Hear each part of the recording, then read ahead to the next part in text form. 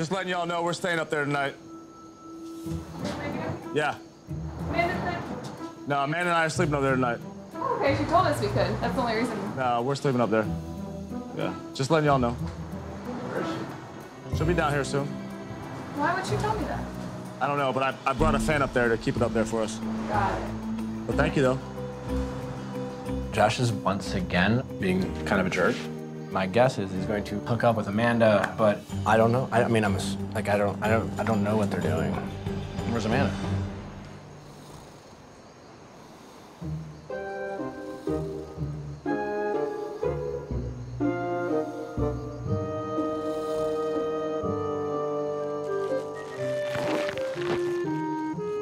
Amanda just told me go sleep up there because I'm gonna go to bed in my bed. That's the only reason we went up there. I know. We don't care. I just want to go to bed. Where's Amanda? She's sleeping. Oh, so she's not gonna sleep with me tonight? I don't think so. She said she went to bed. I'm not trying to cause drama like this guy tries to cause all the time, so I'm just trying to figure out what's going on with her. Josh, can you not help yourself from like peacocking and puffing your chest? His ego knows no bounds, and just his tone of his voice, it's aggressive. I'll be back down in a second. There's not enough boom boom rooms. Not sleeping with me anymore?